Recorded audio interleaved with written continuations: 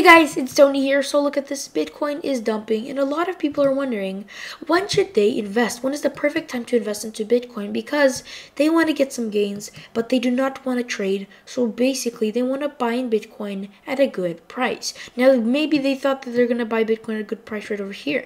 Maybe they thought they're going to buy Bitcoin at a good price over here, but we are still falling down. So the question is, when are we going to stop falling? Well, here is some major key points that you should follow to in order to figure out when is the best time that you should buy in. I want to talk to you guys about all that and more in this video, so let's get into it. So, there are some key indicators that is the best time to buy in inside of these indicators because they will give you massive gains. Let's just go on the chart right now. It's a chart and it's called the BLX chart. Now it has this indicator on it. has these three bands. The interesting thing is that every single time we're in this green band, that is a really great time to buy. So, what can you learn? When we're inside of this green band is a really great time to buy. Let me explain what happened. Basically, every single time we have the cycle of bull market and bear market, we start the green band and we go all the way to the red band and back down to the green band. Now we already did this right over here. We started, but we did not reach the red band. The interesting thing is that, look at this. If you would have bought anywhere inside of this green band, you would be in profit right now. So let's just say you bought in right, right when we came inside of it after this $20,000 dump. Of course, first you would be losing like 40%. You might be tempted to sell but what I would do is I would actually buy some more. After that, we just went up. And you might be tempted to sell here. But no, I would stay until we actually tapped the red. I would, of course, take a little tiny bit of profit off maybe. But I would keep the majority until we actually tap the red band. Now, since we fell back down to green, I would have bought some more right here. And then we had this. This is a pandemic, but don't worry because we usually, practically always, we only did this two times in history of Bitcoin before, breaking out of this green band to the downside.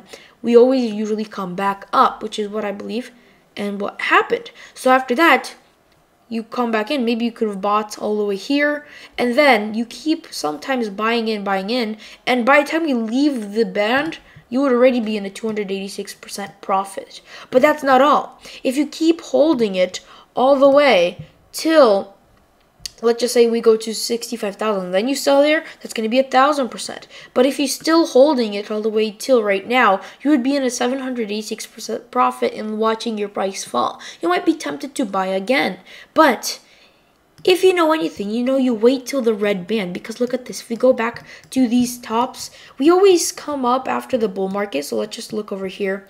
Let's just look at the first bull market that ever happened right over here. We started off in the green band. If you would have bought, you would have had this much percent till we went all the way to the top of 5,000% pump. Now we went all the way to $31 and we tapped the top of the band and we come back down. Now somewhere inside of this top band, of course it was fast this time, but somewhere inside of this top band is a perfect time to sell because after that we come back down. A lot of people don't think that we're going to be going higher, but no.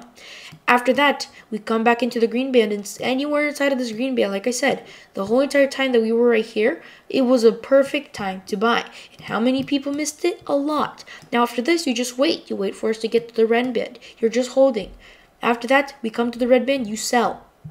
You would have waited till we come down back to down to the green band. You buy in somewhere here and you wait. You could wait through the whole entire rate over here. We would have waited from January 15th all the way to January May 7, 2017, you would have waited two years before we actually broke out of the band. But by the time we did break out of the band, you would already be in a 500, 600% profit. But you don't sell. No, you hold. You hold all the way till we tapped the red band. We went 8,000% that time. And of course, after that, we dumped. And if you want to, you can even set a short right over here. But we dump all the way down to the band.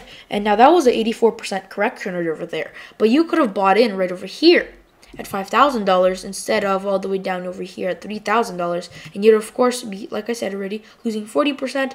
Then you come up. Don't be tempted to sell. Keep buying in while sometimes while we're inside of the band. You would have a better average. So it's going to be good. And then you keep holding. Now, right now, it may seem really tempted to sell because we are falling, but what's actually really important is where we're falling to. Because, like I said, we're inside of the band, it's perfectly good to buy. But there's another thing. When you're tapping the band, it is good time to buy. So let's go back over here let's go back over here to this bull market. We were going up, we were going up, and it's a perfect time to buy right over here. We entered the band really quickly and then exited it.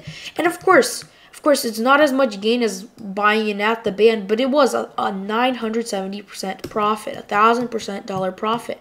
We almost reached the band here, but not quite. Right over here, we did the same exact thing. If you would have bought in when we had this band right over here, then you could have seen that you could have had a 3000% profit. Now, could we be doing the same exact thing right now again? Because look at this. We tapped the band already. Could we be tapping again? Well, yes, because like I said, we have this descending triangle that I, that I could talk about in my previous video, and we are breaking to the downside. And of course, it does look a little bit more like a channel like this, or maybe even a falling wedge, but this is still a bearish pattern and of course we might still be bouncing around if you count this as this um, pattern but we could be still going down to about $39,000 why do I say 39,000 I already explained this in my previous video but one more time quickly because it's the top of this band that's where I think we could be going any lower it's going to be inside of the band and we're going to be fall falling, but we're going to be inside of the band. So it's a great time to buy when we're inside of this band.